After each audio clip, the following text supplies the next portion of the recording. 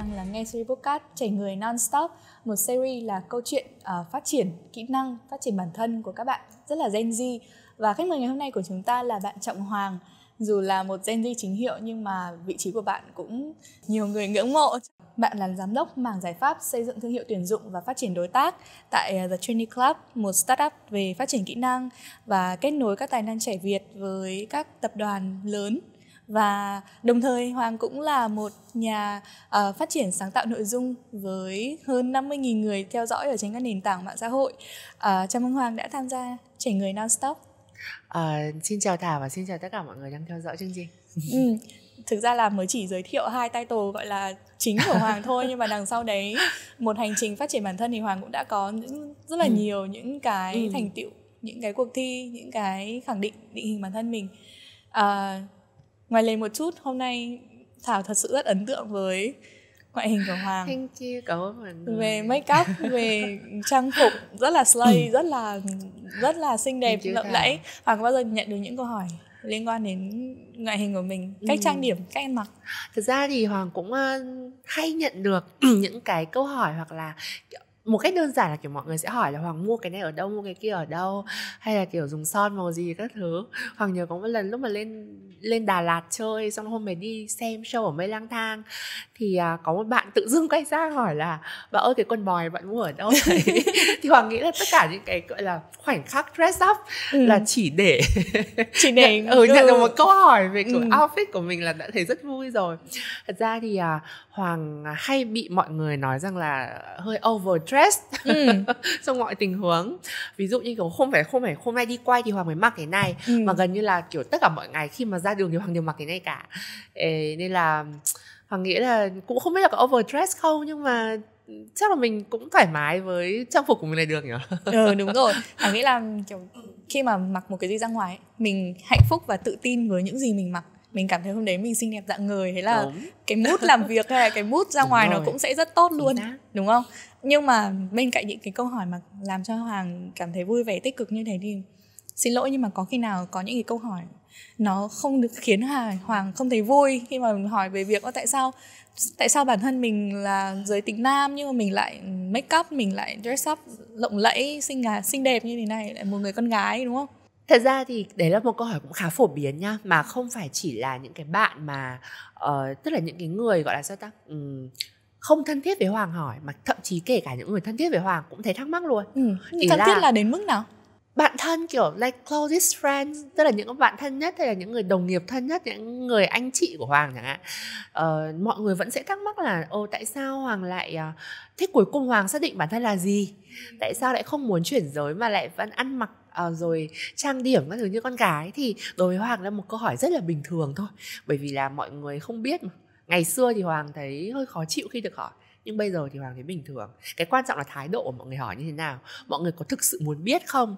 Hay là cái cái cái ờ, tông giọng của mọi người cho thấy rằng là à mọi người đang phán xét? Ừ, có khi nào là gọi là trêu chọc hay là châm biếm về về về cái việc đó? Có đúng không? Cũng có đấy nhưng mà đa phần trêu chọc với châm biếm nha là mọi người sẽ thể hiện bằng ánh mắt và hành động.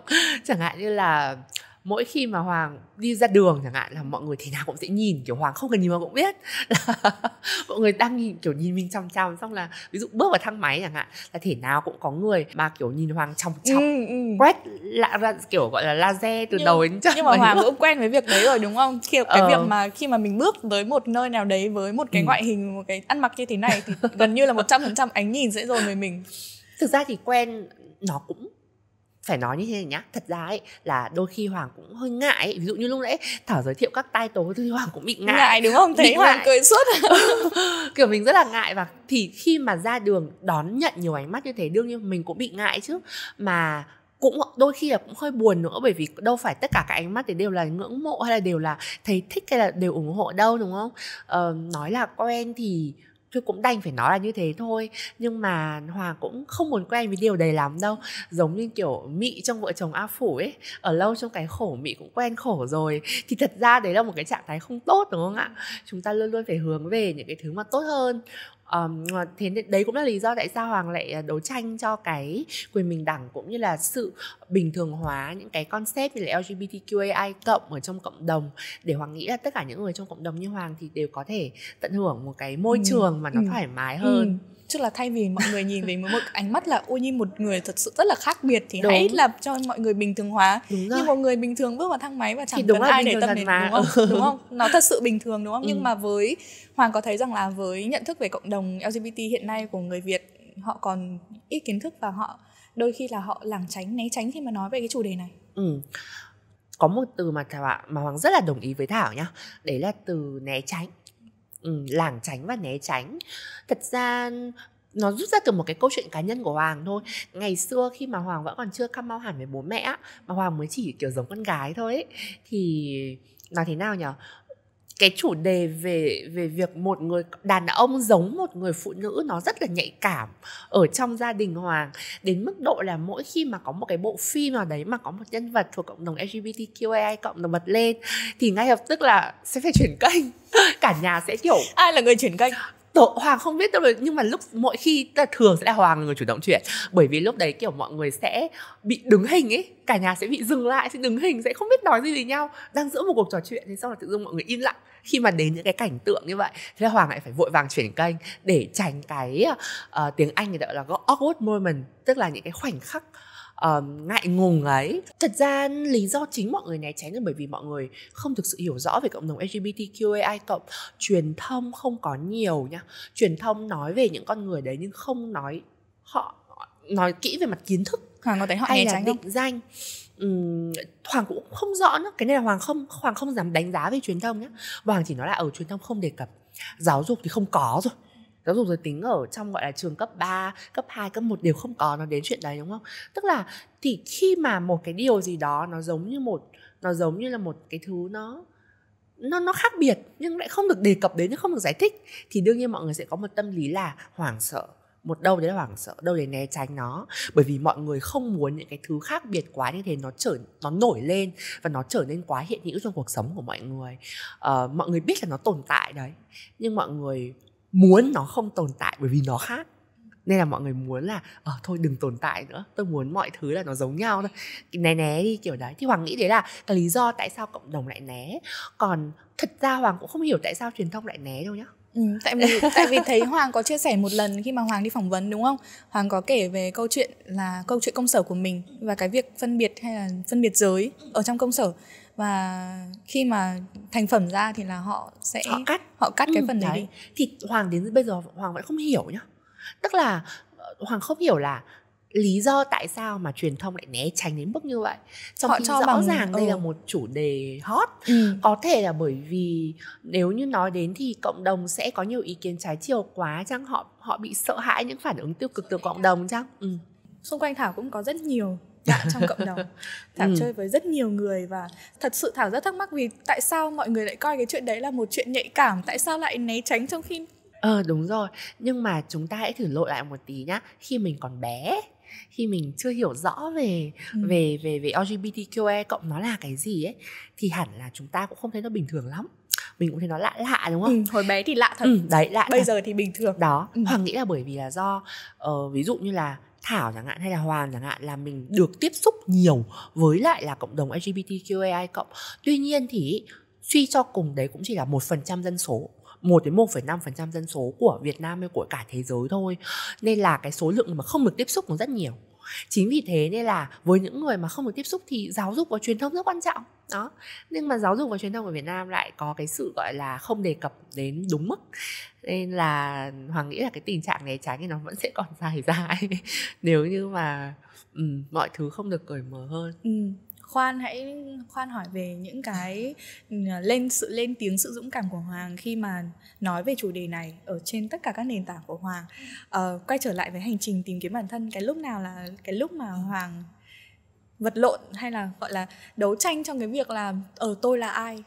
Làm sao để định danh được chính bản thân tôi Hoàng nghĩ là cái việc nó chắc là nó sẽ phải kể đến khoảnh khắc mà Hoàng nhận ra uh, bản thân là người thuộc cộng đồng LGBTQI cộng uh, với trước hết là với xu hướng tính dục trước bởi vì xu hướng tính dục nó là một cái ờ, nói gì thì nói nó cũng sẽ đi liền với câu chuyện dậy thì đúng không ạ vì xu hướng tính dục nó liên quan đến việc là mình muốn có quan hệ tình cảm và quan hệ tình dục với ai Ừ.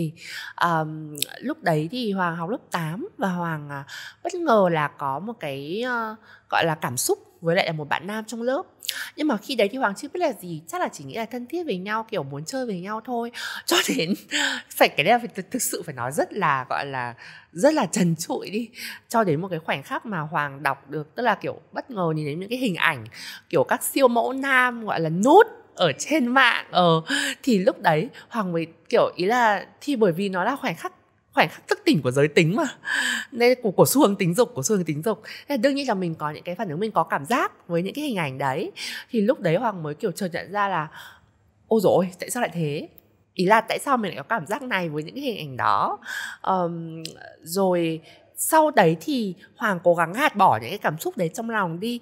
Nhưng mà nó là câu chuyện xu hướng tính dục mà. Xong lại còn là trong cái tuổi dậy thì có rất nhiều thay đổi về tâm sinh lý nữa.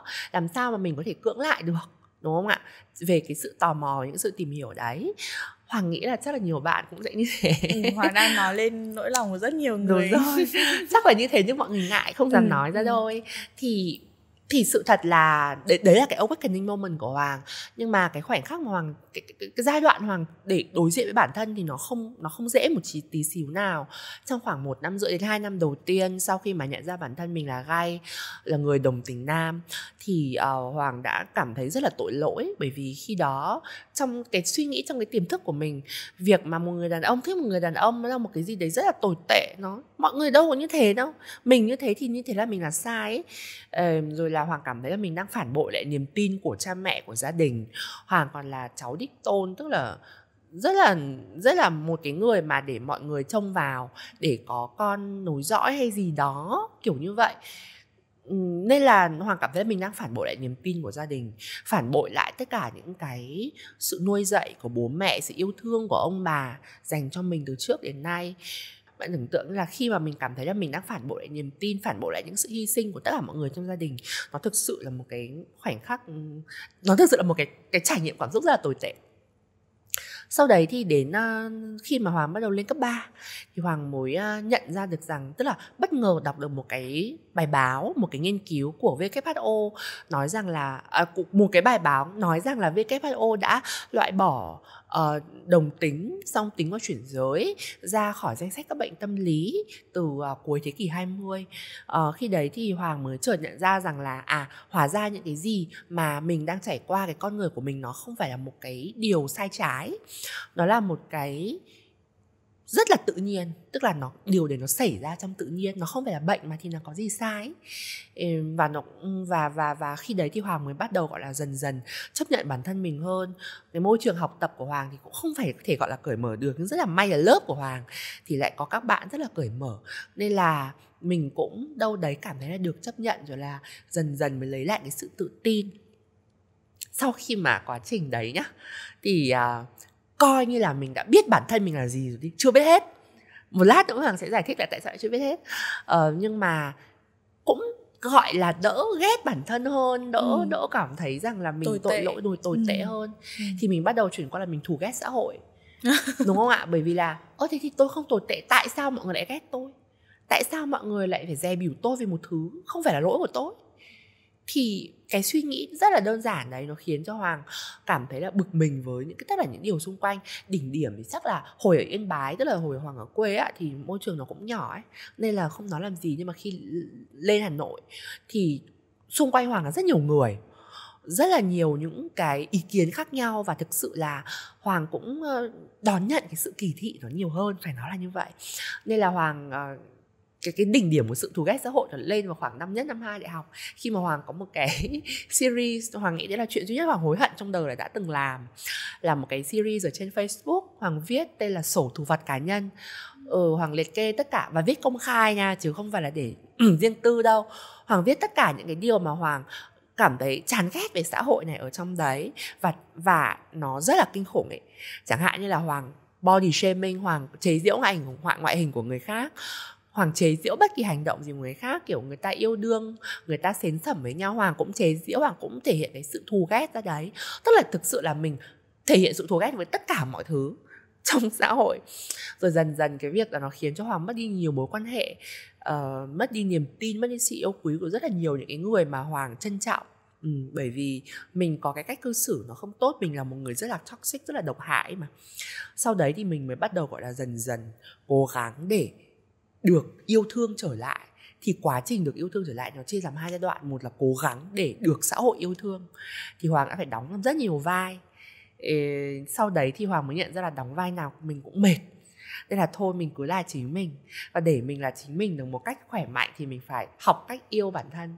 Thì bây giờ hoàng đang trong cái hành trình đấy yêu cả những điểm mạnh, cả những điểm yếu của bản thân và biết rằng là cái gì nên sửa, cái gì nên giữ, cái gì nên phát huy như thế nào và mình nên thể hiện hình ảnh như thế nào trước công chúng. Ừ thì đấy là toàn bộ cái hành trình mà hoàng nghĩ là hoàng trưởng thành từ cái chuyện là hoàng biết bản thân mình thuộc cộng đồng lgbtqai cộng.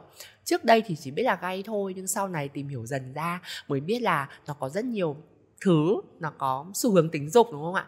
Nó có bản dạng giới là, hoặc là non binary tức là người phi nhị nguyên giới, không định nghĩa mình là đàn ông hay là phụ nữ được. Thì đấy cũng là lý do, và cái thể hiện giới của mình thì là thể hiện tính nữ. Thì tất cả những cái điều đấy nó cộng lại, nó khiến cho hoàng hiểu hơn về bản thân hoàng cũng không thắc mắc là tại sao tôi không muốn chuyển giới mà tôi lại muốn ăn mặc như con gái nữa và hoàng cũng bắt đầu giải thích được cho mọi người mình là ai mọi người hiểu hơn về mình bản thân mình hiểu hơn thì mình cũng đấy cũng là một cái động lực lực để mình khám phá thế giới ừ. trước khi hỏi về việc là cái khoảnh khắc mà khi mà mình khẳng định được bản thân và mình come out với mọi người thảo rất muốn hoàng chia sẻ một chút kiến thức để cho ừ. các bạn có thể hiểu hơn về cộng đồng lgbtqi ừ. cộng đúng không ừ. và về xu hướng tính dục về bản dạng giới về thể hiện giới về giới tính tất cả những cái thuật ngữ đó thảo nghĩ rằng có thể là mình hiểu nhưng mà đa số thì chưa hiểu sâu đúng không ừ, chưa okay. hiểu được hết Uh, thật ra ấy thì nếu mà mình có nói gì sai ở phần này thì mọi người thứ lỗi nhé bởi vì ừ. vẫn có thể là có một số kiến thức ừ có một số kiến thức của hoàng là vẫn có thể là bị quên trong cái khoảnh khắc này trừ đây nó là về thuộc về mặt kiến thức rồi ừ. uh, hoàng thấy để dễ hiểu nhất ý, thì mình sẽ thường chia làm ờ, ba bộ ba cái gọi là bộ phận chính của cơ thể ý. nó sẽ quyết định những cái điều đấy đó là trái tim là uh, trí óc bộ não và là bộ phận sinh dục ừ. bộ phận sinh dục của mình thì nếu như không có đột biến gen thì sẽ uh, có hai thì sẽ quyết định thêm hai làm hai giới tính là giới tính nam nhiễm sắc thể là XY đúng không ạ? Và giới tính nữ là nhiễm sắc thể là XX ừ. tức là nếu như không có đột biến về gen nhá. Um, còn uh, xu hướng tính dục sẽ là liên quan đến trái tim là bạn yêu ai bạn muốn có quan hệ tình cảm với ai và có thể là muốn quan hệ tình dục với ai. Rồi nó là câu chuyện trái tim rồi chứ ạ. Uh, trái như vậy thì nó sẽ bạn tùy vào việc là bạn muốn quan hệ với ai thì nó sẽ chia ra làm những cái xu hướng tính dục khác nhau. Như là gay thì là nam quan hệ với nam nam thích nam lesbian thì là nữ thích nữ đúng không ạ? Hay là uh, thích cả hai giới thì là bisexual for example hoặc là không có cảm giác tình dục với ai mà chỉ muốn có quan hệ tình cảm lãng mạn thì là asexual đúng không ạ? Ví dụ như vậy. Uh, rồi bộ óc thì là gì ạ? Bộ óc thì là cái mình định danh bản thân mình nghĩ bản thân là giới nào thì nó sẽ có một cái trục là trục nam, với một đầu là nam, một đầu là nữ, đúng không ạ? Và một đầu ở giữa thì là như hoàng là non binary tức là mình không thể định danh được mình là nam hay mình là nữ. Bởi vì mình cảm thấy là à mình không thoải mái với cái hệ nhị nguyên giới, nhị là hai á. Tức là hệ nam và hệ nữ mình mong muốn có một cái ở giữa nhưng không có cho mình. Đó. À, thì đấy cũng là lý do tại sao ở nước ngoài người ta có nhân xưng là dây dâm dành cho những người thuộc uh, những người định danh mình là non binary bởi vì họ không muốn được gọi là he hay she là anh hay là chị kiểu như vậy. À, thì đấy là ba khái niệm nhá là giới tính này xu hướng tính dục này và uh, bản dạng và bản dạng giới bản dạng giới. Còn một cái nữa là thể hiện giới gender expression. Thì đấy là cái câu chuyện mà bạn thể hiện ra bên ngoài là tính nam hay là tính nữ. Uh, nó cũng giống nó chỉ đơn giản như giống là mình thích ăn cá hay ăn tôm hay là ăn cua thôi kiểu như vậy. Đó là bạn và cái tính nam tính nữ đấy nó lại là thuộc về cái định nghĩa của xã hội. Ừ, chẳng hạn như cứ mặc váy là nữ chẳng hạn. Đó. Thì thì thì cái cái gọi là cái cái thể hiện giới đấy nó đâu đấy nó chỉ là một phần là để nó dễ gọi cái cách thể hiện Ừ, của mình ừ. ra thôi chứ nó cũng không phải là một cái definition gì quá cụ thể cả Ừ. Rồi, chắc là chúng ta đã hiểu sương sương thuật ngữ trong cộng đồng trong cộng đồng LGBT. LGBTQIA Ừ, yes. trong cộng đồng LGBTQI cộng vậy thì quay trở lại với Hoàng cái hành trình mình đấu tranh mình tìm kiếm bản thân và khẳng định được bản thân mình rồi cái khoảnh khắc nào là khoảnh khắc Hoàng come out ra với xã hội come out ra với người thân với bạn bè của Ừ. mình Ờ, Hoàng nghĩ là come out với xã hội thì dễ lắm tại vì tại vì Hoàng trông này. Ừ. ý là không không ai không. biết.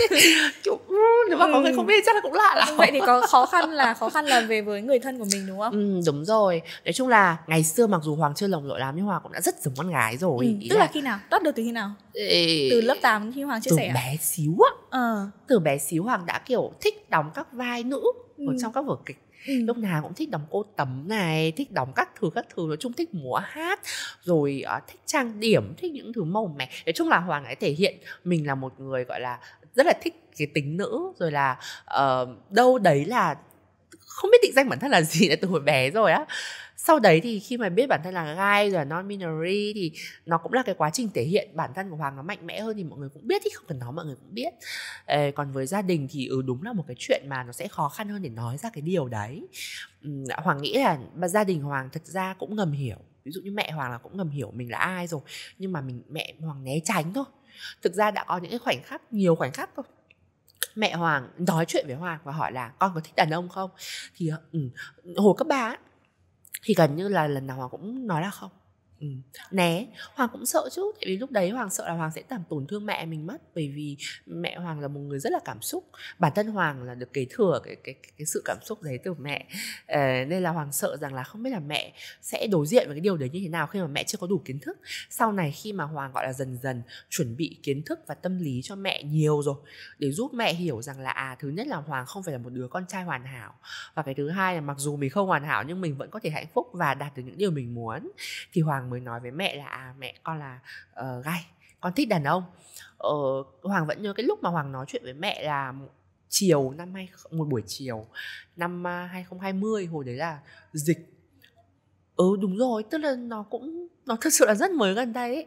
Hay không cái hồi đấy là đang ở đang nghỉ ở nhà do dịch ấy. đó đợt đấy là mới giãn giãn tức là mới đỡ đỡ dịch một chút xíu khoảng tháng 7 Hoàng có nói chuyện với mẹ thì à, cái việc mà Hoàng nói là Hoàng thích đàn ông nó được chèn vào trong một cuộc hội thoại. Ờ, một cách rất là tự nhiên thôi. Hoàng không nhớ cái hoàn cảnh dẫn đến nó là gì bởi vì phải nói thật là Hoàng không chủ đích để nói ra cái điều đấy. Ừ chỉ là chuyện này dẫn đến chuyện kia thôi. Bởi vì Hoàng đã chuẩn bị tâm lý cho mẹ trong vòng 5-6 năm trước đấy rồi. Thì tại sao Hoàng lại phải chủ- đích mời mẹ ra một chỗ để nói đúng không? Ừ, mẹ Hoàng thì khi đấy mẹ Hoàng kiểu dừng lại khoảng 3 giây sau đấy thì lại tiếp tục câu chuyện. Tiếp tục câu chuyện là tiếp tục vào cái câu chuyện mà Hoàng vừa nói hay ừ, là tiếp tục lảng câu chuyện sang? Hoàng vừa nói tức là tiếp tục một câu chuyện rất tự nhiên đã À. đang nói cái gì thì tiếp tục nói cái đấy ừ. Hoàng nghĩ là nói chung chuyện Kama của Hoàng cũng là một chuyện cũng khá là khác ấy. Nó không nó không nghiêm trọng thế đâu. Cái giai đoạn nghiêm trọng là giai đoạn mà Hoàng phải chiến đấu với bố mẹ, chiến đấu với gia đình để chứng minh là mình không phải là một người hoàn hảo. Hoàng chấp nhận việc là mình phải làm bố mẹ tổn thương. Khi nhận ra rằng là à con của mình có thể nghịch ngợm, con của mình có thể là bị ghi vào sổ đầu bài, con của mình có thể trốn học, con của mình có thể làm những điều mà một người gương mẫu một hình tượng gọi là hoàn hảo trong mắt bố mẹ không bao giờ làm. Bố mẹ hoàng đều là giáo viên. Ờ, thì thì đấy là giai đoạn khó khăn nhất. Cái giai đoạn mà mỗi lần mà hoàng gọi điện về cho mẹ thì cả hai mẹ con cùng khóc ấy thì đấy là cái giai đoạn mà nó đã trải qua rồi. Và mẹ hoàng đang chuẩn bị tâm lý rồi. Những cái chuyện đấy nó còn kinh khủng tức là những cái chuyện đấy mà mẹ hoàng chịu được thì chuyện mình là gay thì nó cũng chỉ là một trong những chuyện đấy thôi. Tức là ấy uh, suy cho cùng thì việc hoàng là gay đối với bố mẹ nhé bố mẹ vẫn coi nó là một điều không may mắn vẫn coi nó là một điều khiếm khuyết thì thật ra nó cũng chỉ giống như một trong hàng ngàn khiếm khuyết khác mà mình có thôi. Nên là mọi thứ nó trở nên bình thường gần đây thì à, hoàng cũng đã dần dần thay đổi được suy nghĩ đấy rồi rằng để cho bố mẹ hoàng dần hiểu ra rằng là hoàng rất là biết ơn bởi vì mình được sinh ra như thế này. Hoàng à, biết ơn với những gì mình được trao tặng bởi vì là những điều đó nó giúp cho mình tạo nên cái con người mà hoàng cảm thấy là hài lòng ngày hôm nay với cái bộ tính cách này. À, thảo thấy là việc come out nó không phải là một cái gì đấy nó quá nó rất là nhẹ nhàng với hoàng. Nhưng mà với các bạn trẻ khác cùng trong cộng đồng thì có thể như là nó sẽ rất là khó đúng không? Hoàng nghĩ là mỗi người khó ở một đoạn. Mọi người bởi vì hoàng có sự chuẩn bị thôi. Như hoàng như hoàng còn nói rồi đấy. Thực ra quá trình cam mau với hoàng nó là cả một ừ việc cam mau với hoàng là cả một quá trình. Và hoàng đã làm khổ bố mẹ trước đấy. Có những người thì uh, họ nói thẳng với bố mẹ luôn. Thế là bố mẹ bị sốc. Bố mẹ có những cái phản ứng này nọ. Ờ, cũng một phần là bởi vì hoàng may mắn nữa. Khi mà bố mẹ hoàng là những cái người rất là giàu tình thương. Ờ, và cũng cũng rất là thấu hiểu rất là thương con nên là mới có cái cái cái phản ứng nó nhẹ nhàng như thế. Dù từ trước cho là đến nay không bao giờ nói những chuyện từ mặt hay là như thế nào. Nhưng hoàng biết là có nhiều những cái trường hợp là các bạn trong cộng đồng bị từ mặt thậm chí bị đánh đập bị ruồng rẫy bởi chính gia đình mình. Thì thực sự là phải nói thật là hoàng cũng không biết có lời khuyên gì dành cho các bạn. Mà với những tình huống đấy thì đành phải mạnh mẽ và tiếp tục sống thôi chứ cũng ừ. không có cách nào cả nhờ vào nội lực bên trong của mình thôi đúng không? Nội lực ừ. Ừ, và sự... nhiều yếu tố khác ừ. nhiều yếu tố khác. Là gì? Hoàng nghĩ là nội lực thì nó đến từ Hoàng không biết là có ai bản thân sinh ra đã là một người mạnh mẽ và có một cái gọi là sức mạnh nội tại nó nó nó nó lớn hay không. Mà thường cái điều đấy sẽ được bồi dưỡng từ cái từ những cái người bên ngoài từ cái support network, gọi là cái mạng lưới hỗ trợ của họ. Nếu như một người mà được sống trong một cái môi trường, được phát triển trong một cái môi trường mà có nhiều người thấu hiểu họ, nhiều người yêu thương họ, nhiều người giúp đỡ họ, nhiều người trao cho họ những cái bài học, thì hoàng tin là nội lực của họ sẽ được rèn luyện và được, gọi là, tu bồi từ đó.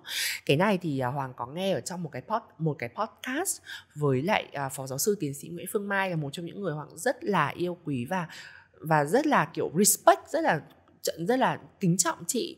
Chị đã nói rằng là nhiều người thì nói rằng, tức là nhiều người thì hay nói rằng là à tôi cảm ơn thất bại, tôi cảm ơn những cái điều, những cái nỗi khổ đã làm nên tôi ngày hôm nay. Nhưng chị thấy là như thế là hơi hơi không đúng.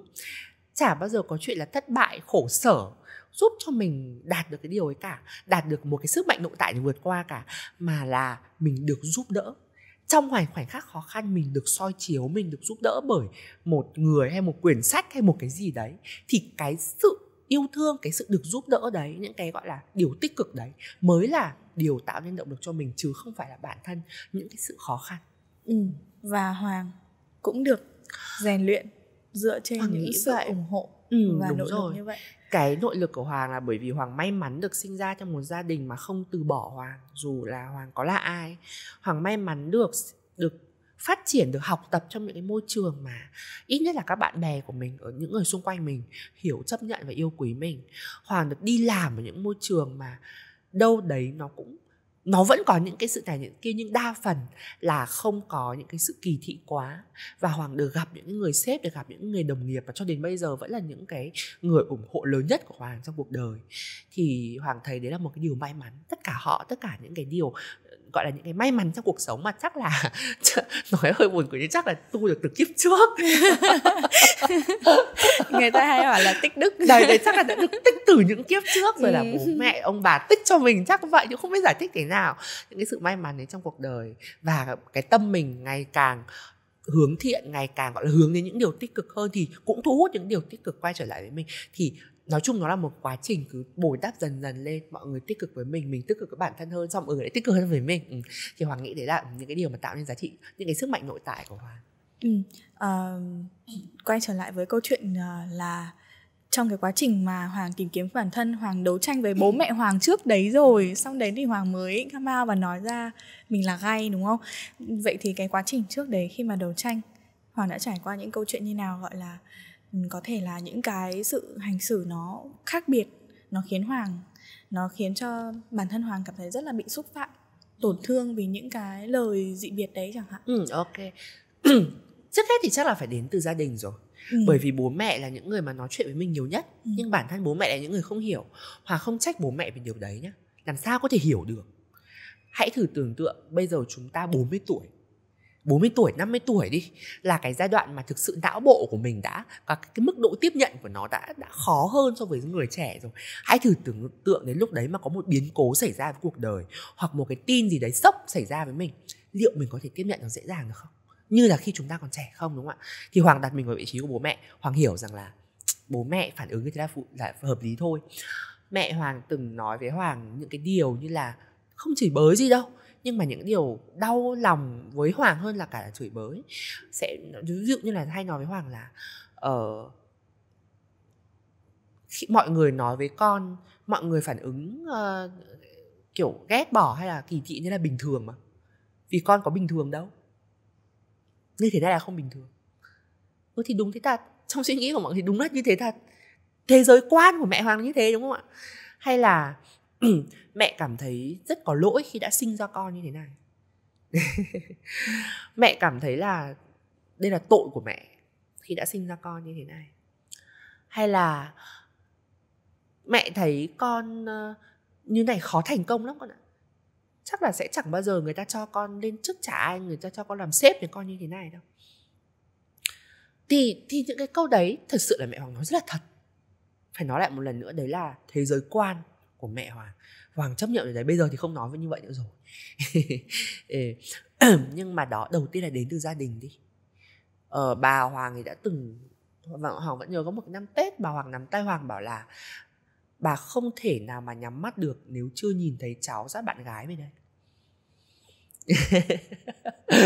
Ờ, những khoảnh khắc đấy thì thực sự hoàng không biết nói gì kiểu hoàng bị cứng người ấy.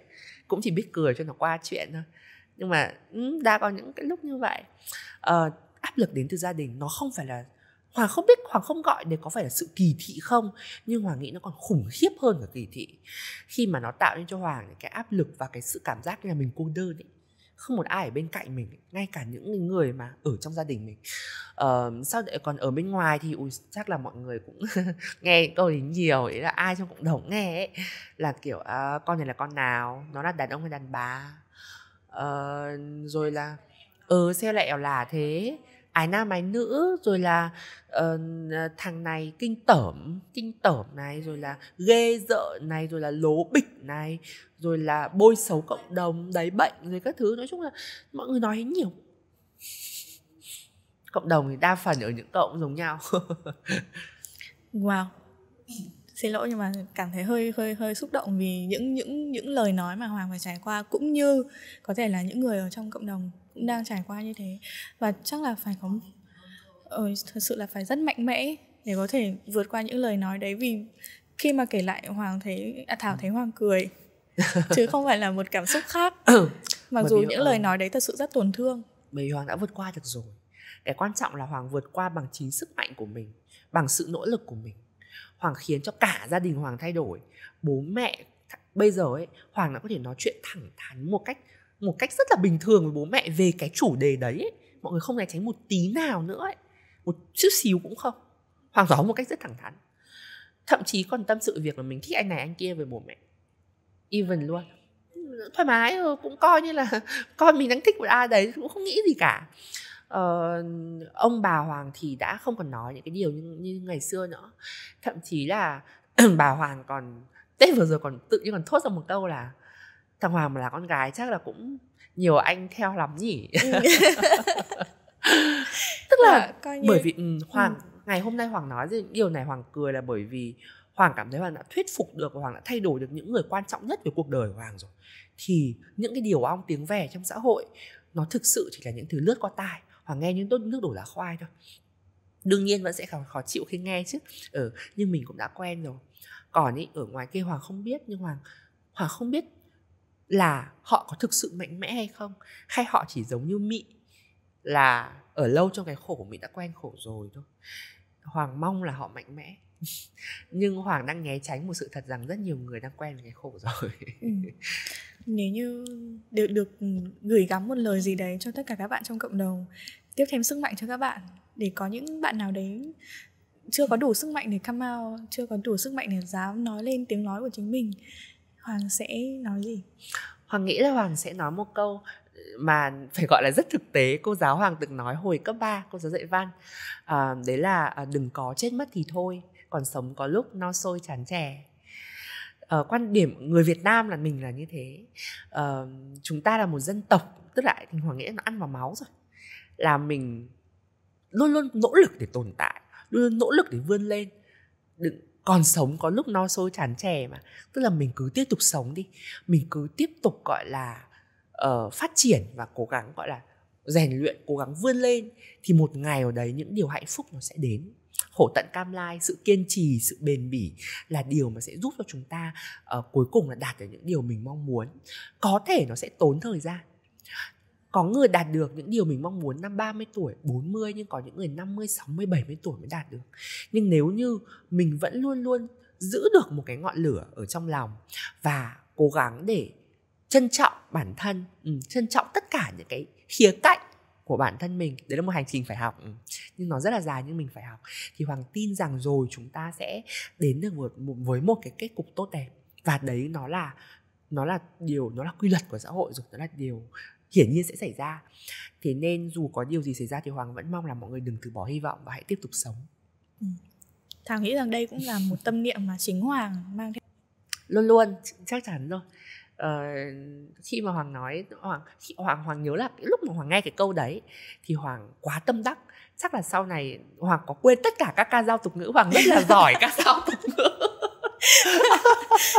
còn nếu hoàng có quên tất cả các ca dao tục ngữ ừ. của việt nam thì chắc ừ. đấy vẫn là câu mà hoàng nhớ nhất ừ mang theo đến khi mình đến cuối đời đến cuối ừ. đời luôn đúng không thảo thấy hoàng có một cái góc nhìn rất là tích cực khi mà nói rằng là mọi người xung quanh từ người thân bạn bè đến công việc hay là đi môi trường đi học của hoàng đều có một cái sự ủng hộ nhất định cho Hoàng Nhưng bên cạnh đấy Thảo biết là Hoàng cũng có chia sẻ những cái câu chuyện liên quan đến đi làm Nhưng mà vẫn có những sự thật sự là đối phân biệt đối xử bất công với những người trong cộng đồng Ví dụ như việc là sếp không cho Hoàng đi gặp khách hàng ừ. Đúng không? Hay là HR không tuyển bạn vì ừ. bạn đồng tính. Yes. Ừ. thế hoàng nghĩ là như thế này thật ra thì à, uh, nói thế nào nhỉ? Đúng là đa phần thì hoàng không gặp phải những cái tình huống đấy nhưng mà nó ừ. vẫn xảy ra. Ừ. và hoàng nghĩ là có thể hoàng hơi tham lam chăng? Nhưng mà hoàng không muốn nó xảy ra. Bởi vì tại sao nó lại phải xảy ra ấy? Khi mà hoàng hoàn toàn xứng đáng đánh giá một cách một cách chọn trên năng lực mà và tất cả các bạn thuộc cộng đồng LGBTQA cộng cũng thế. Thì tại sao chúng ta lại phải chấp nhận những điều đấy dù chỉ là một hạt cát nhỏ nhất không nên có uh, mở rộng ra hơn một chút xíu thì là tất cả những người có những cái khiếm có những cái mà bị coi là khiếm khuyết với lại cộng đồng nói chung thì cũng không nên bị đánh giá trên những cái điều đó mà chỉ nên bị đánh giá trên năng lực được đánh giá trên năng lực thôi. Quay trở lại câu chuyện đi làm đi thì uh, hoàng nghĩ rằng là cái điều này nó cũng đến từ một cái mà mình đã nói từ phần trước đấy là do giáo dục và do truyền thông. Ở Việt Nam là chưa đủ để mọi người có một cái nhận thức đúng đắn về việc là uh, người uh, thuộc cộng đồng LGBTQAI cộng thì cũng uh, không khác gì những cái người khác trong xã hội cả. Uh, họ cũng chỉ giống như những người thuộc dân tộc thiểu số vì họ ít người thôi. Dân số ít thôi chứ cũng không không có cái gì mà khác cả. Và điều đấy không ảnh hưởng đến năng lực. Một phần nữa là đôi khi mọi người bị uh, cái này khó nhá. Cái này là không liên quan đến câu chuyện giáo dục hay truyền thông mà hoặc không biết nó là lý do tại sao nữa. Nhưng rất khó để rạch ròi giữa tình cảm cá nhân cảm xúc cá nhân và đánh giá trên, về mặt công việc. Không chỉ là về, kiểu, câu chuyện về cộng đồng LGBT mà rõ ràng bản thân chúng ta, đúng không? Khi làm việc, mình yêu, quý một ai đấy thì mình lúc nào cũng sẽ có xu hướng là dễ dàng với họ hơn. Mình mà không thích một ai đấy vì bất kỳ một lý do gì mình cũng sẽ khó khăn với họ hơn. Thì cái này nó là hoàng hoàng cũng không biết lý do tại sao lại như vậy. Có thể là do bản năng con người chắc nhưng mà mình sẽ phải thay đổi dần dần những cái đấy. Khi mà mình phát triển trong sự nghiệp mình càng lên cao ừ. càng lên những vị trí cao thì mình lại càng phải gọi là công bằng hơn đúng không? Ừ. nếu như mà đối đối diện với những cái hành xử hay những lời nói hay những hành động như vậy ở trong môi trường đi làm nếu như là hoàng hoàng sẽ có những hành xử đáp lại như nào? Ờ ví dụ đi xem nào. Ừ, mình sẽ ví dụ ví dụ hành động một okay, cái ví dụ ví dụ như việc là sếp bảo là ok anh không cho em đi gặp khách hàng. Ừ. anh thấy em không phù hợp. Ngày xưa thì chắc là hoàng sẽ mà thực sự là hoàng đã từ chối hoàng đã đồng ý. Dạ vâng em sẽ trang điểm cho thôi. Anh sẽ đi gặp khách rồi hy sinh vì công việc Bởi của mình đúng không? Là Hoàng rất là muốn đi gặp khách hàng đấy. Đấy là một trong những hàng rất là lớn Hoàng biết là Hoàng có thể làm được à, và hồi đấy thì mình vẫn chưa có nhiều những cái tiếng nói. Hoàng thực sự đã kiểu dạ vâng em sẽ về từ trang ngay đi ạ. Anh cho em đi gặp khách chiều nay với. Thế sếp có thay đổi không? Không cuối cùng vẫn có được gặp đâu. Tại vì trong lộ thì nay thì tẩy trang người ta vẫn nhận ra ấy. nhưng mà chắc là bây giờ thì hoàng sẽ à, bây giờ thì hoàng sẽ à, hỏi thứ nhất là phải hỏi lại là lý do gì mà anh không cho em việc khách hàng? Có phải vì ngoại hình các thứ của em không? Rồi hoàng sẽ tiếp tục hỏi tiếp nói chung là hoàng hỏi hoàng hỏi tiếp là à anh có chắc chắn là khách sẽ đánh giá em ngoại hình không? Bởi vì em là người có năng lực trong mảng này. Anh làm việc với em, anh cũng biết là em là người duy nhất trong công ty làm những dự án này, dự án này. Thành tích của em như này, anh biết rõ điều đấy. Nếu như không đưa em đi có thể rằng là anh sẽ cản được một cái yếu tố liên quan đến ngoại hình. Nhưng mà anh sẽ không có một người đứng ra để nói chuyện với khách hàng về mặt chuyên môn, bởi vì em biết là anh cũng chưa có nhiều kinh nghiệm trong mảng này. Thế nên là em nghĩ là anh cần em đi trong cái buổi pitch đấy bởi vì ừ, mình tự tin mà mình có khả năng đúng không ạ? Thì tại sao mình lại phải cầu xin cho một cơ hội khi mình đã có khả năng và mình tự tin về nó? Mình có thể lấy được nó. Còn nếu như họ vẫn không đồng ý thì nếu như trường hợp ấy quá ba lần họ sẽ nghỉ việc. Ừ. có nguyên tắc. mình đúng có nguyên tắc ba lần đúng không? Ừ nguyên tắc ba lần với mọi người chắc là một lần hay hai lần tùy mọi người nhá. Nhưng đối với hoàng thì tại sao mày phải ở một môi trường mà ngăn cản những cái cơ hội đến với mình như thế đúng không? Ở ngoài kia mình nếu mà mình đủ giỏi đúng có bao nhiêu nơi người ta giang tay chào đón thì mình cứ đến thôi chứng minh nhất là hoàng thả đã xem hoàng trên cơ hội cho ai. Đó sự thuyết phục bản ừ. năng hay là cái kỹ năng phát triển công việc của mình đúng không? Hoàng nghĩ là ở ừ, nói chung cái gì cũng phải có cái năng lực thực sự thì mình sẽ mình sẽ chứng minh được mình sẽ dành những cơ hội cho mình thôi. Hồi ở cơ hội cho ai á mọi người thấy như thế thôi. Thực ra lúc mà chia sẻ thêm một tí xíu nhé lúc quay hoàng có mất 3 tiếng từ 12 giờ đêm đến 3 giờ đêm. Để để, để có gì? được từng ấy khoảnh khắc ở trên truyền hình và hoàng đã phải chuẩn bị một tuần trước đấy Hoàng research về tất cả những cái công ty có thể tham gia dựa trên các năm ngoái về ừ. tất cả các ngành hàng. Ừ. Hoàng cái lý do mà Hoàng được chọn về ngành dược dù Hoàng chưa làm ngành dược bao giờ ấy là bởi vì Hoàng đã research về ngành dược trước đấy. Hoàng research rất là kỹ tốc độ phát triển quy mô thị trường các gọi là key players tức là những cái công ty chính ở trong đấy họ đang có những xu hướng như nào xu hướng làm truyền thông làm marketing như nào nói chung nghĩ là sự tự tin đấy không phải là bản năng mà sự tự tin đấy là do có chuẩn bị do hoàng đã có kiến thức và hoàng đã được luyện tập và có kỹ ừ, năng ừ, với nó ừ. hơn cả những cái nội lực hay sự mạnh mẽ về tinh thần mà còn là hãy trau dồi bản thân Đúng, phát luôn. triển kỹ ừ. năng phát triển chuyên môn của mình ờ, thì mình kỹ lưỡng. ừ thì ừ. mình mới có thể tự tin dám đương đầu với mọi thứ đúng không đúng chả biết rằng hoàng à, cũng rất là tự tin lên những cái tiếng nói nói ra những cái điều mà ít ai nói ở trên mạng xã hội về ừ. cộng đồng lgbt hành trình đấy như thế nào? Thì hoàng nghĩ là hoàng thích viết và nói từ ngày xưa. Cho đến sau này thì cái việc viết đối với hoàng là một thói quen. Uhm, à, dùng mạng xã hội hoàng nhận ra rằng là lúc đầu hoàng nghĩ đấy là một cái công cụ để thể hiện bản thân uh, hoàng ờ, kiểu là một người cũng quảng giao mà ở một mức độ nào đấy. Nên là hoàng cũng muốn nói là cũng muốn dùng cái mạng xã hội để gọi là nói lên tiếng nói của mình. Sau này dần dần hoàng nghĩ rằng là thế nhưng mà thế cứ thế này thì cái việc nói của mình có mục đích gì? Ừ, hoàng uh, dần bởi vì hoàng là một người hướng giá trị value oriented mọi thứ trong cuộc sống của hoàng thì đều phải hướng đến một cái giá trị nhất định. Ngay cả việc viết cũng thế và cái giá trị đấy nó phải càng ngày càng được mở rộng. Thì cái công việc đối với hoàng nó mới là một cái điều xứng đáng để làm. Ờ, nếu như thế thì hoàng nhận ra là nếu như chỉ viết cho một mình mình nghe một mình mình thích hoặc là một mấy trăm người thích thì nó không đủ. Mình phải viết để cho cả ngàn người thích cho cả ngàn người cảm thấy có động lực cho rất rất rất nhiều những người ngoài kia cảm thấy là họ có được những cái suy nghĩ tích cực hơn.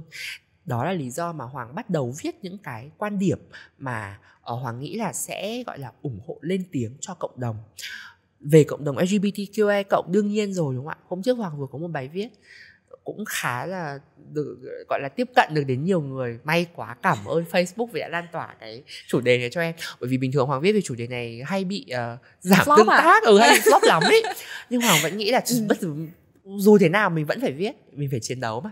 Ờ, rồi là ngoài ra thì có những chủ đề khác nữa những cái điều mà hoàng cho là tiêu cực trong xã hội Ê, hay là chuyện mà ví dụ như hôm trước hoàng viết về việc mà cấp 3 hoàng bị bạo hành về tinh thần hoàng bị phân biệt đối xử chẳng hạn là những cái chủ đề cũng rất là nhạy cảm.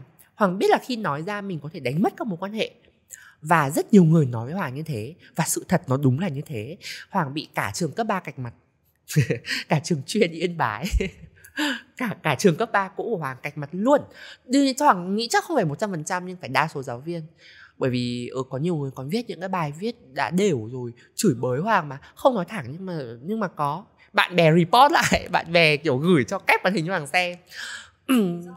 là bởi vì mọi người cảm thấy Hoàng là người ăn cháo đá bát không tôn sư trọng đạo. Người ta đã dạy mình như thế mà mình lại tố người ta lên facebook ấy bao nhiêu người nói nói người ta các thứ xong để cô giáo xin lỗi học sinh ấy không được đấy không tốt. Mọi người nghĩ vậy mà. Uh, nói chung là và thậm chí cũng có nhiều người bạn các bà hoặc cũng nghĩ như vậy nữa. Và rất nhiều những cái cơ những cái điều như vậy đã xảy ra. Nhưng mỗi lần như thế khi mọi người hỏi là tại sao hoàng vẫn làm hoàng đều trả lời. Bây giờ con không phải là một học sinh nữa con không chỉ là học một cựu học sinh của trường ấy con không chỉ là ai là ai là ai nữa mà con là một người của công chúng. Con đang đại diện và mọi người, rất rất nhiều người, ít nhất là có 25 người người theo dõi trên Facebook, đang nhìn con giống như một cái hình mẫu về sự tự tin và dũng cảm, nói lên tiếng nói. Những bài viết này tiếp cận được đến hàng trăm nghìn người chứ không phải chỉ là những người đó. Và có thể ở đâu đấy, trăm nghìn con người kia đang cảm thấy rằng là họ được động viên, họ có một cái khoảnh khắc đẹp trong ngày khi đọc vào những cái điều đấy. Thì Hoàng nghĩ rằng là đấy là cái giá trị của cái điều mà mình đang làm và của rất rất nhiều các content creator tích cực khác, những cái nhà sáng tạo nội dung tích cực khác. Mọi người làm cũng chỉ vì nghĩ rằng à ở ngoài kia ít nhất có một người trong khoảnh khắc đọc được nội dung của mình đang cảm thấy tích cực. Và Hoàng đấy thấy đấy là cái điều tuyệt vời nhất khi làm cái công việc này và cũng là cái động lực lớn nhất để Hoàng tiếp tục mạnh mẽ và chia sẻ. Hoàng có từng chia sẻ ở trên Facebook có những người cư xử như Hoàng chia sẻ là vô duyên vô duyên với cộng đồng. vậy, ừ, hành xử nó vô duyên. Ừ. vậy thì với những người mà thật sự là họ còn đang cố gắng né tránh hay là họ đang băn khoăn thắc mắc là ờ, làm sao để tôi cư xử đúng khi mà gặp một người ở trong cộng đồng LGBT tại vì họ họ sợ họ sợ là mình trở thành vô duyên chẳng hạn làm sao để ứng xử cho đúng với những người trong đấy trong cộng đồng ừ. trước hết thì rất là cảm ơn những người đang có suy nghĩ như vậy ạ bởi vì ít nhất là họ không vô duyên và họ và họ biết là mình đang họ mình cần phải làm đúng hơn ừ, ừ. thì hoàng thấy đấy là một cái điểm đáng khen rồi ừ. à, đáng trân trọng ừ tiếp theo là làm thế nào để để ừ. để mọi người không vô duyên nữa hay là là không cư xử vô duyên ừ, không hành xử lạ kỳ thì, ừ, là... thì đúng rồi ừ.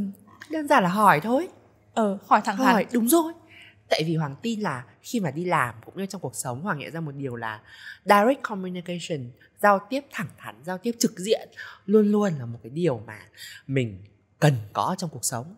Rất nhiều những cái sự hiểu nhầm này kia mọi người có một cái này mọi người xem phim châu á mọi người để ý không? Là nhiều khi các nhân vật cứ xoay vòng trong những mớ bong bong của cảm xúc và không hiểu nhau chỉ vì là không giao tiếp một cách trực diện.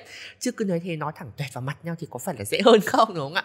Đương nhiên nói về khía cạnh tình cảm nó phức tạp hơn thì cũng có nhiều cái nó nó cái gọi là cái sự lòng vòng ừ, nó, ừ. nó là một nét đẹp văn hóa ừ. nhưng đối với hoàng trong câu chuyện này ừ. trong câu chuyện về cộng đồng lgbtqi cộng nó về mặt kiến thức đi và cách cư xử um, đúng đắn lịch sự thì nó phải nó cần được hỏi thẳng để mọi người có cái cách cư xử đúng hơn và mọi người hỏi thẳng với một thái độ tôn trọng và nghiêm túc chẳng hạn như là cũng là một cái cách hỏi ví dụ như là thế của thế bạn là thích con trai con gái hay là bạn là xu hướng tính dục gì thì mọi người có thể nói một câu trước đấy là uh, xin lỗi nếu như câu hỏi này của tớ hay ừ. là của mình khiến bạn cảm thấy khó chịu nhưng mà bởi vì tớ thực sự không biết và tớ muốn hiểu hơn ừ. thì bạn có thể giải thích cho tớ là ừ. này kia nó không? có sự chân thành trong đúng, việc đúng hỏi. sự chân thành và sự tôn ừ. trọng ấy ừ. chứ không phải cười ha ơi mày thích không em mà ui giời ơi cái giống như mày tao chả biết ý là wow. những cái cách thể hiện nó rất là kỳ ừ. cục ấy ừ. nếu như mà có những câu hỏi thế hoàng có co bát lại không ừ. kiểu đúng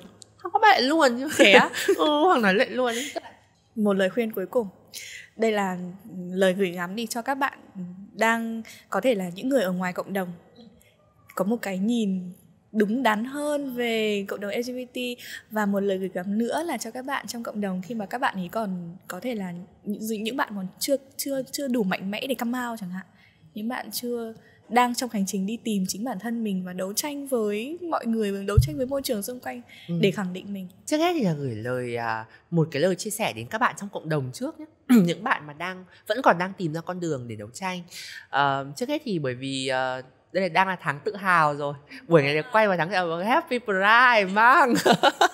Pride Month là à, là một cái tháng để chúng ta cùng nhìn lại cái hành trình mà chúng ta đã đấu tranh ừ, nỗ cả lực. cộng đồng đã ừ. nỗ lực để đấu tranh cho cái sự bình đẳng cho bình quyền cho những cái quyền mà mình xứng đã được hưởng như bao con người khác và mình cũng cùng nhau gọi là tôn vinh những cái sự khác biệt và sự đa dạng của cộng đồng trong cái tháng này chúng ta luôn tôn vinh trong mọi tháng đúng không ạ nhưng chúng ta chọn ra một thời điểm để celebrate ừ. để like let's party để ừ. tổ chức lễ hội ừ. tổ chức tiệc đúng không ạ thì um, một cái lời mà mình muốn nói với các bạn rằng là nếu như một cái khoảnh khắc cái câu thứ nhất là cái câu phía trước nhé là đừng có chết mất thì thôi còn sống có lúc no sôi tròn trẻ và cái câu thứ hai là nếu như trong một khoảnh khắc nào đấy mình bị mệt mỏi quá buồn quá thì các bạn có thể thử nhớ lại lý do tại sao lại mình lại bắt đầu. Và thử nhìn lại cả một cái hành trình mà mình đã trải qua thì các bạn sẽ thấy rằng là nếu như mình dừng lại ở đây nó quá lãng phí. Nó nó là một cái sự lãng phí cho tất cả những cái công sức của chính các bạn của chính những điều mà các bạn đang làm để đạt được cái vị trí ngày hôm nay rồi. Thế nên là hãy cố gắng thêm một chút nữa thôi một chút một chút nữa thôi. Uh, chia sự cố gắng ra thành những bước nhỏ để mình cảm thấy rằng là và mình trân trọng từng những cái nỗ lực từng những cái tiến bộ nhỏ nhoi đấy để mình cảm thấy biết ơn hơn với cuộc sống và biết ơn hơn với chính bản thân mình với những người xung quanh mình nữa. À, thì đấy là những một cái điều mình muốn dành cho cộng đồng. Nhưng mà riêng trong tháng 6 này thì hãy buông bỏ tất cả mọi thứ ừ. nhé hãy cứ vui vẻ đi bởi vì đây là tháng của chúng ta mà. À, còn với những người ở ngoài kia đang có những cái suy nghĩ mà chưa được tích cực với cộng đồng LGBTQI cộng uh, Hoàng cũng không biết phải nói gì với mọi người lắm tại vì hoàng không phải bố mẹ hay giáo viên hay gì ừ. để mà dạy mọi ừ. người nhưng mà hoàng chỉ muốn nói là keep watching keep watching us ừ. hãy uh, chờ đợi xem chúng tôi sẽ làm gì tiếp theo điều mà mọi người cần bây giờ chỉ là nhìn thấy sự thể hiện của cộng đồng LGBTQI cộng nhiều hơn đa dạng hơn thôi thế nên là um, nếu như được gửi một lời đến truyền thông và giáo dục thì hoàng mong là truyền thông hãy cởi mở hơn, giáo dục hãy dạy về cái điều này trong trường học. Còn với những người mà mọi người khác không phải làm trong ngành truyền thông và giáo dục thì hãy chờ đợi xem chúng tôi sẽ thể hiện gì cho mọi người và mọi người chỉ cần có một cái điều gọi là thái độ sẵn sàng. Keep watching. Đúng rồi keep watching và keep like open. Hãy chờ đợi và sẽ đón nhận những gì chúng tôi sắp làm trong thời gian ừ. sắp tới thôi. Ừ. có những tuần mà hoàng được hoàng tự sắp xếp cho mình được nghỉ toàn bộ 3 ngày thứ sáu thứ bảy chủ nhật. Không làm gì chỉ chơi thôi chỉ xem tivi thôi. Tức là công việc nó linh hoạt như vậy. Ừ. nhưng phải nói thật là như thế này. À, bởi vì mình làm start up mình làm khởi nghiệp à, rồi là mình lại còn làm một, một cái agency là một công ty cung cấp dịch vụ nữa nên là được bận là may mắn. Hoàng ước gì hoàng có thể bận mỗi ngày? Hoàng ước gì hoàng phải dậy sớm mỗi ngày hoàng phải làm đến tối mỗi ngày? Đấy là ước mơ của hoàng ở trong thời điểm hiện tại. Ừ. bởi vì điều đấy có nghĩa rằng là công ty đang phát triển rất nhanh uh, mình đang tạo ra được giá trị cho rất nhiều người. Bản thân mình cũng uh, phát triển hơn nữa kiếm được nhiều tiền hơn này đúng không? Phát triển hơn. Nhân viên của mình cũng uh, uh, được đông đúc hơn rồi là được thăng chức này kia mọi người đều vui cả nhà cũng vui. Ừ.